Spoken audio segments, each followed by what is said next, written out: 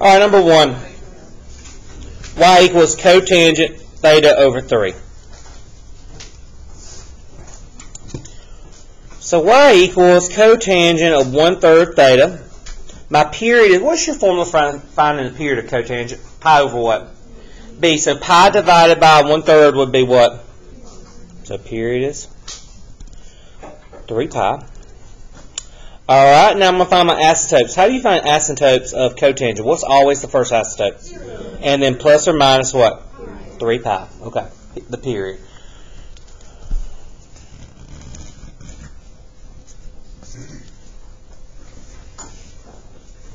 Okay. I don't know why I drew a graph. I'm thinking sine and cosine right now. All right, so what do we always graph first? So we got an asymptote at 0. And then I'm going to have 3 pi and negative 3 pi.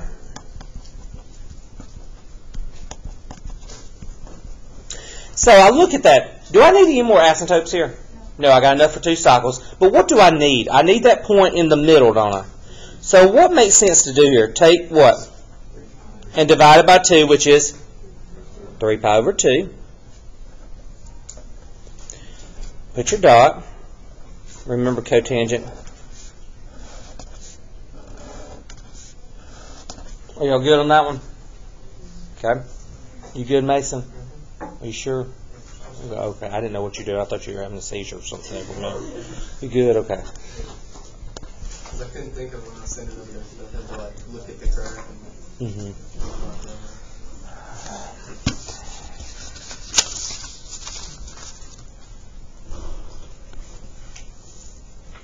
Number two, tangent of one third theta.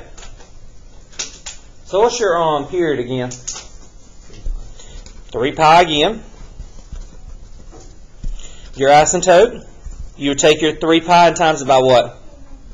Plus or minus one half, so this gonna be three pi over two. Y'all good so far? I think y'all bored. We're about to challenge you. Don't, don't hold on. It's about to come today. The challenge is about oh, await. Awaits oh, us.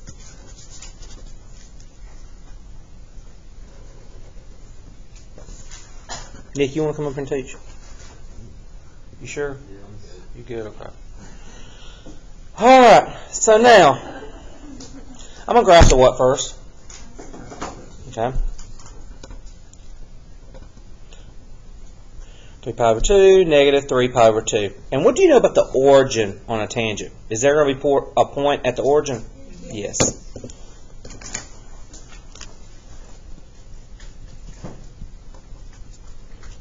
What's always going to be at the origin for a cotangent? Asymptote. Very good. It's like you're in church unwrapping. Again, just open it. Thank you. All right. I was trying to do a class. That's all right. All right, now I need to find how many more asymptotes. One. All right, that's a lot of trail mix. But you know what? It's okay. It's empty almost It's a family. You've been eating that for like four days, haven't you? since Tuesday. Well,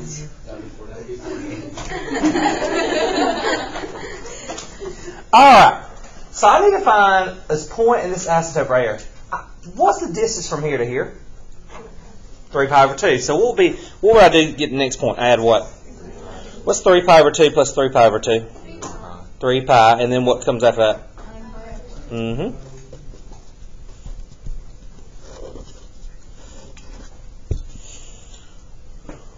Do I have to do three and four? We good? Parker, let me see your third, third one. Derek, I'm gonna see your fourth one. Mm-hmm. I know who to ask because I know you ain't done them over there. So you better be getting the four, or you about to teach your class.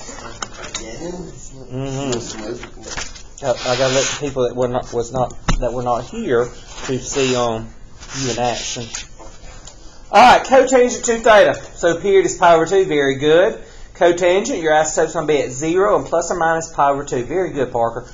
We got enough asymptotes. Now we need to find this point. You divide by two. Great job. Good job. Matthew, let me see your four, please. I'm not going to traumatize Derek today because I'm about to check homework. That's going to be enough traumatizing. All right, number four, tangent. I will try to do a lot right now before I come around to check homework. Negative tangent. If it's negative tangent, it's going to look. Yes, bud. You get a zero for your homework. You should watch a video. I'm not that mean a person, James. You know I'm Well, I a. was just making sure you remembered. Oh, I kind of thought you were here yesterday. I'm glad you told me that because I did not realize you were absent yesterday. But thank you for that update. Okay, we're good. Just bring it Monday. All right. Period is two pi plus plus or minus pi. Very good. Good job. Are there any questions? Do y'all have any more to do? Are we good on secant and cosecant? Yeah. Moving on. Okay, next. I want you to turn to that. Oh, I love this. If you were absent yesterday, did y'all watch a video?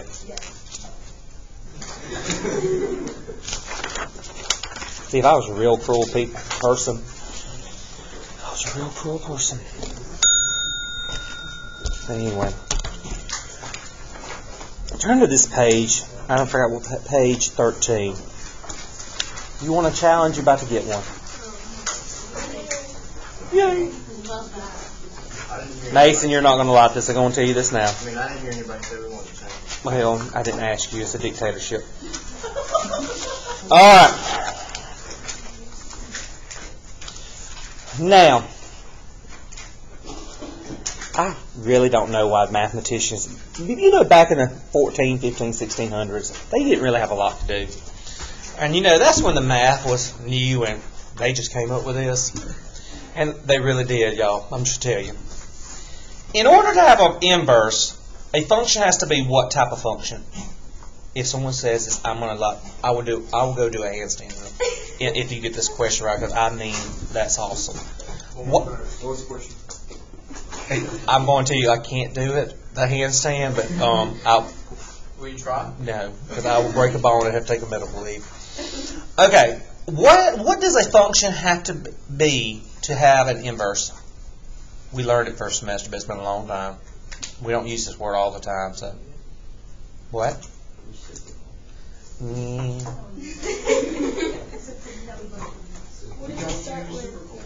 starts with an O.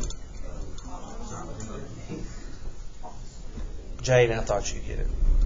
Matthew, dig in that mind. You got this. Derek, you just ponder over it. You're not, you're not even trying to think of it right now. You're just waiting for someone else to say the answer, aren't you? No, I was thinking. Wh- Okay. It's a number. It's a number? Zero. It starts with O, y'all. That's a whole other situation. If we said zero at the moment, that starts with Z. Whew. Someone said it. Oh my God, Jackson Nolan, you got it right. It has to be one to one. It has to be one to one. And that means if it's, I'm not doing a somersault, but I'm so proud of y'all. Alright, a one to one means that none of your X's or none of your Y's repeat. You remember that? And how did you know something was one to one if it passed the what test? Not vertical line, it was the what? Okay, so here's cracks me up. This is it. So it has to be one to one, but think about a sine and cosine graph. Does it pass the one to one test? No. So mathematicians back in the day said it's not one to one, but we're going to make it one to one. So they put it, they restrict it to a certain area. Why would they do it? I don't know. But they, you know, they wanted everything to have an inverse. So here we go. Um, so this first blank, the inverse sine,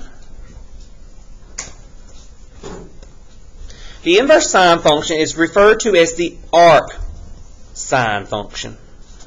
A-R-C-S-I-N, arc sine. Now, you're, you will see the inverse sine as that notation or that notation. It means the same, same thing. So either way, you know how you saw f raised to negative 1 meant inverse? Same thing, sine raised to negative 1. It does not mean negative 1, it means inverse. Oh, it's right under it, I'm sorry. It is right there. So they restricted that to a part where it does pass the one-to-one test. And it is restricted to, get this, negative pi over 2 to pi over 2. So on the unit, on the coordinate plane, where is negative pi over 2 to pi over 2? What quadrants are you dealing with? Let's think about it. Where's pi over 2 is here, isn't it? Negative pi over 2 is here. So what quadrants are, are first and fourth? This one and this one. So that means in inverse sine, your answers can only come out of the first and fourth quadrant, okay? They restricted it to that area. Does that make sense? Now, since I put this in brackets, can can these two number two values be the answer? Yes. The inverse cosine is referred to as the arc cosine function. It is restricted to this range, 0 to pi. So what quadrants are you dealing with that? 1 and 2. So sine is 1 and 4. Arc cosine is 1 and 2. You have to think about all this when you answer questions, okay? The inverse tangent function is referred to as arc tan, and it is restricted to what quadrants? The same thing as sine, 1 and 4. But do you notice I put parentheses around this? So can those two be my answer? No. But for sine, they can be. Does that make sense?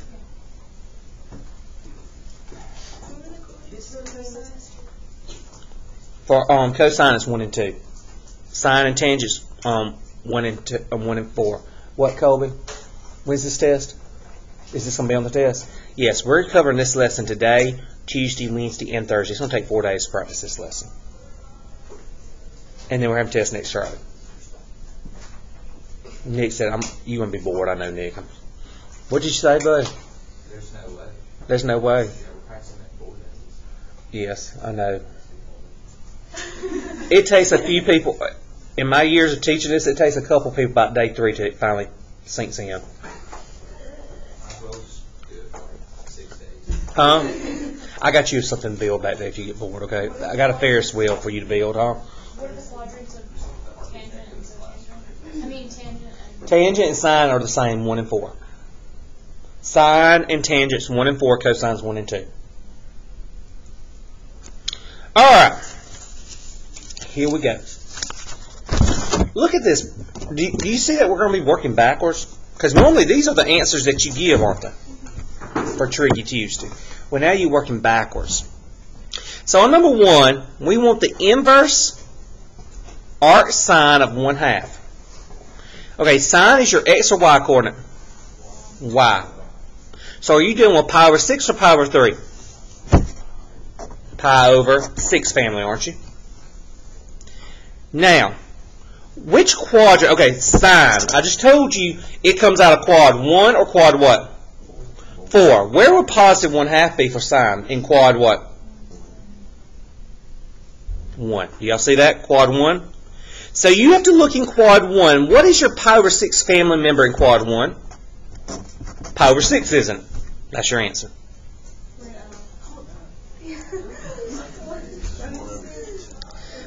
Okay.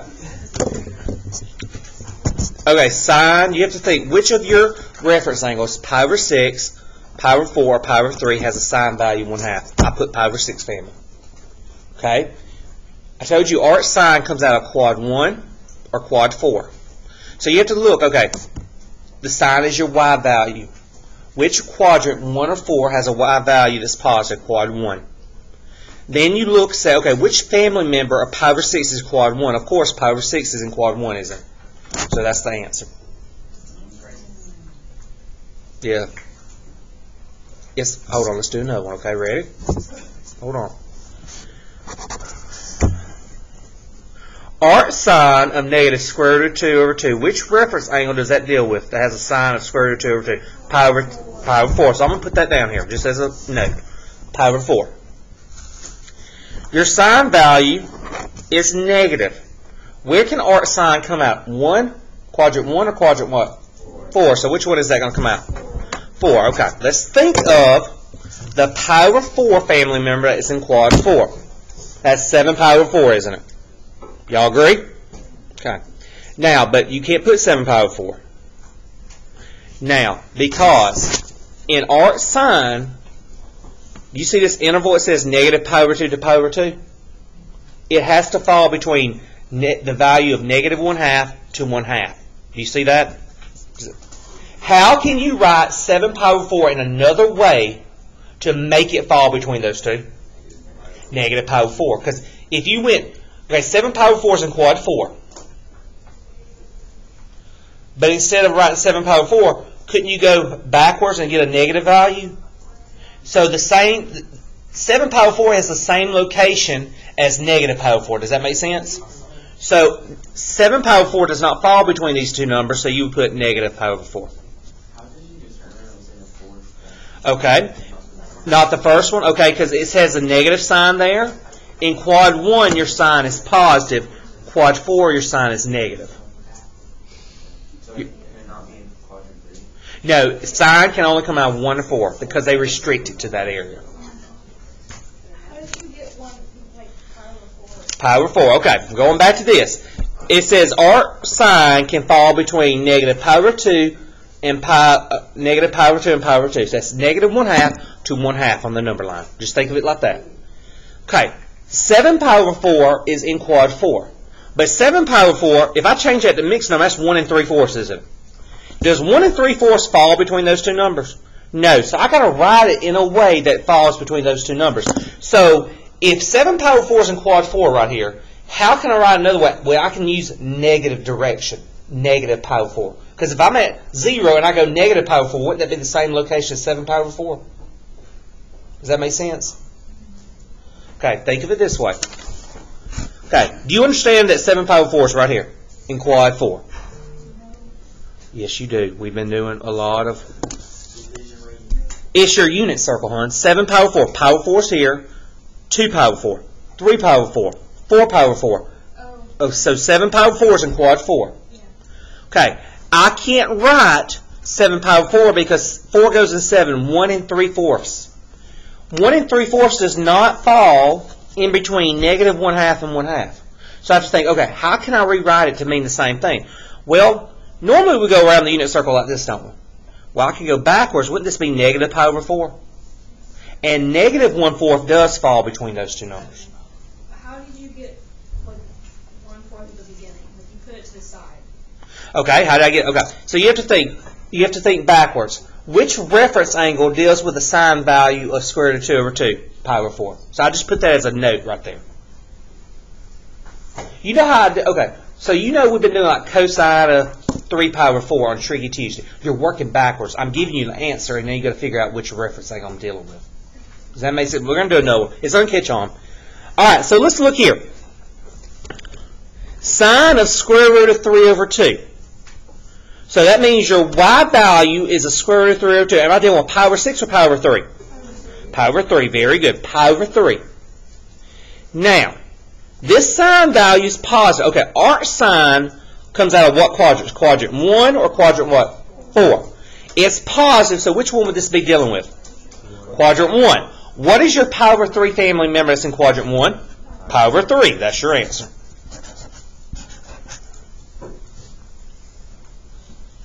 I get that, I just don't get how you're getting the higher. To begin with?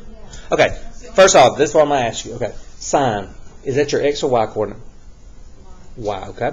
So I want you to keep that in mind. So think of back to this.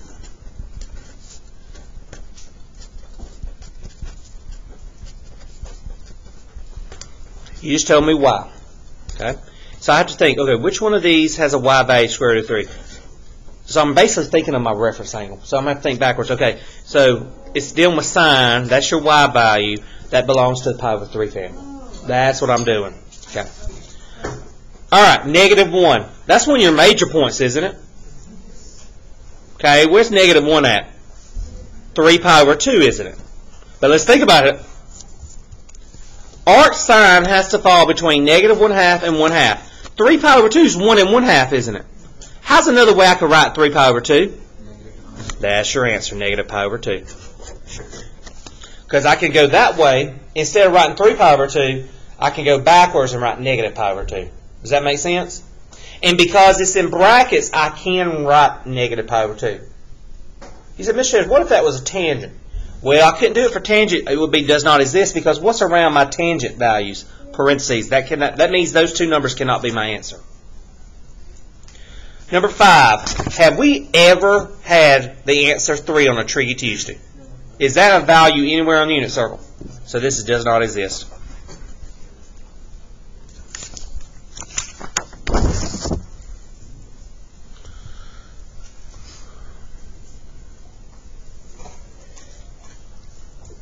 Okay, now we we've been doing arc sine, now we're going to shift to cosine. What quadrants can cosine come out of? One, nope. I don't know where two and three all come today. One and two. It's either arc sine is one and four, tangents, arc tangents one and four, arc cosine is one and two.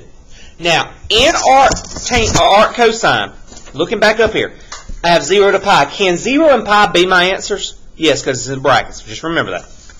Okay, so cosine, you're dealing with the x value.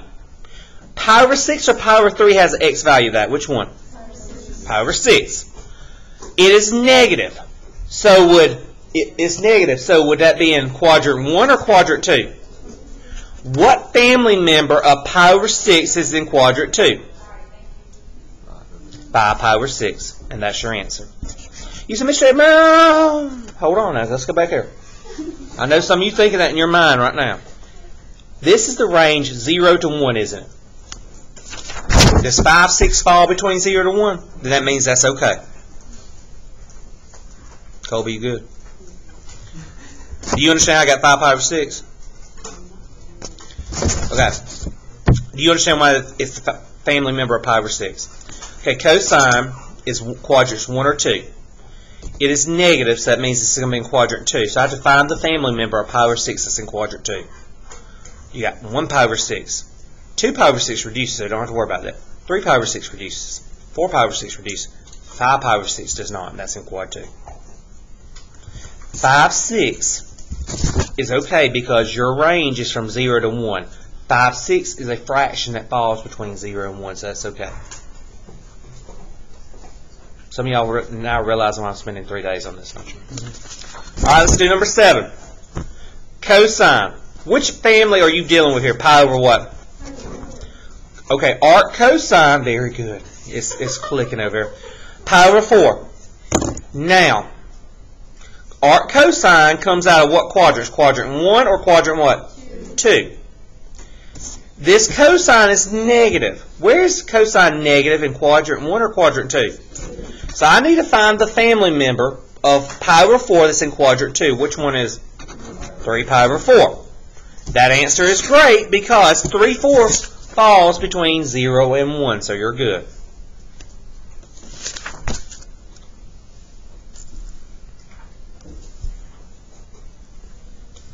Zero. Is that a major point? Okay. Remember cosine, co, arc cosines between quad 1, quad 2. Where's cosine 0 at? Pi over 2 is your answer. And pi over 2 is fine because doesn't 1 half fall between 0 and 1? Okay.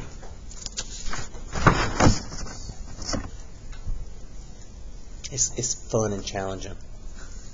It's making y'all better critical thinkers. You like it, Mason? Because you got 20 of these on your test Um, next Friday. There's about 20 of these. It's not the worst. Mm, no. Ivy, that you got 20 of these on your test next Friday. Oh my god. Yeah, I never make. I would never make this a Tricky Tuesday. Your Tricky Tuesday stays the same to me. Derek, you just throw your pencil down with me. If I made this Tricky Tuesday, you would just throw your pencil. Yes. You have a chapter on this in calculus. Pretty easy. I'm so proud of you. You've come a long way, son. All right, here we go. Let's do. We got eight more guys, and I got. What time we'll get out? Oh, let's go. Cosine negative one half. Which family member is negative one half? pi over 3. X values negative 1 half.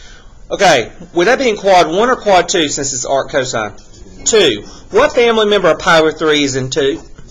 2 pi over 3. Does 2 over 3 fall between 0 and 1? Yes, you're good. Have we ever looked at anything 2.5? No. Tangent of negative 1. Oh, so you got to think about tangent is y divided by x, isn't it? Which of pi over 6, pi over 4, pi over 3 gives you a tangent of negative 1? Pi over 4. Okay, tangent falls in quad 1 or quad what? 4. Where would your tangent be negative? Quadrant 1 or quadrant 4? 4. Now, the pi over 4 family member that is in quad 4 is 7 pi over 4. But let's look here. Tangent has to fall between negative 1 half and 1 half. 7 over 4 is 1 and 3 fourths. Does that fall between it? So how could I rewrite 7 pi over 4 to mean the same thing but fall in that? Negative pi over 4 is your answer. What now? 15? You don't have homework on this, so I'm going to pick up on 12 on Monday, okay? Your homework's all graphing, okay? Okay, 7 pi over 4, 7 over 4 is 1 and 3 fourths. Well, that doesn't fall between negative 1 half and 1 half, does it? So I have to think, okay, 7 pi over 4 is in quad 4. How can I write it to mean the same point? Negative pi over 4. You're just going backwards. Like. You got it. What's your mom say? Okay, thank you. Y'all have a great day. What do you want? Can I sit over here?